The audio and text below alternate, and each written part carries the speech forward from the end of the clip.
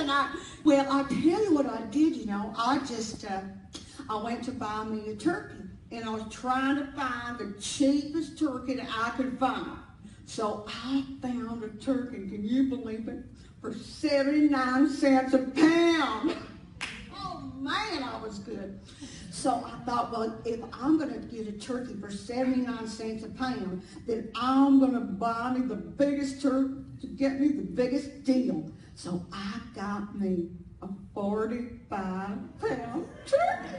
Oh, I kid you not. Oh my goodness sakes. I thought, well, you know, I'll just I'll just put it in my microwave and defrost it and away we go. Well, of course, I get home, I get it hauled into the house. I got a couple of my boys to bring it in. I took it, I looked at it, I thought, oh my gosh, this is never gonna fit in my microwave.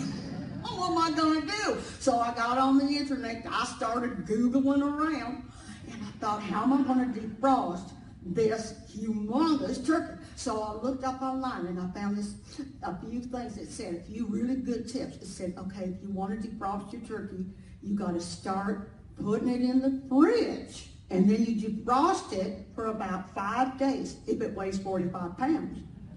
Well, I got people coming over for Sunday dinner and this is Saturday. What the heck am I going to do?